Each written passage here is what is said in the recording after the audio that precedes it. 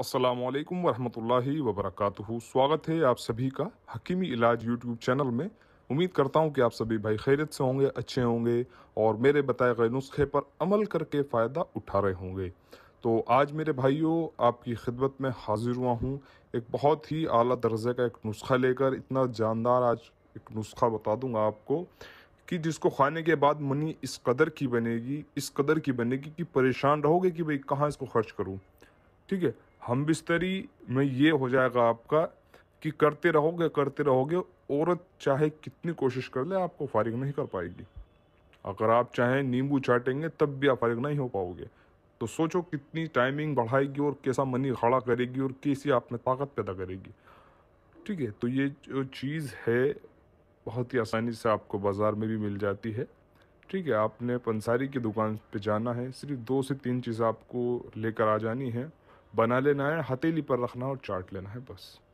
नुस्खा मैं आपके हवाले कर देता हूँ। करने से पहले आपसे गुजारिश है कि भी एक बार ज़रूर हमारे चैनल को सब्सक्राइब कर लें और बेल का बटन भी दबाएँ ताकि जो नई नई वीडियो हैं हमारी, वो बासानी से आपके पास आती रहें।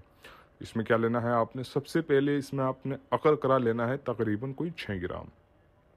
दूसरी चीज़ में आपने ज़ाफ़रान लेनी है। ज़ाफ़रान आपने तीन ग्राम लेनी है, ठीक है?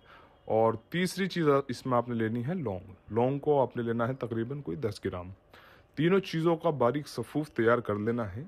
सफ़ूफ तैयार करने के बाद में आपने इसमें जितना सफ़ूफ तैयार होता है, उसकी मात्रा में, दो गुना मात्रा में आपने इसमें शहद मिला देना है। मिलाने के बाद में एक हल्का सा एक माजून सा तैयार कर लेना है और करने के बाद में इसको आपने रख लेना है। जब आप हम बिस्तरी करने जाएँ, उससे को ही एक घंटा पहले आप इसको दूध के साथ में ले लें बस। यकीन जानो, एक घंटा पहले इसको ले लोगे, जब एक घंटे बाद हम बिस्तरी करने जाओगे तो दुआ ही दोगे मुझे इनशाला और बीवी की, ये मानो, बीवी की हालत ख़राब कर दोगे?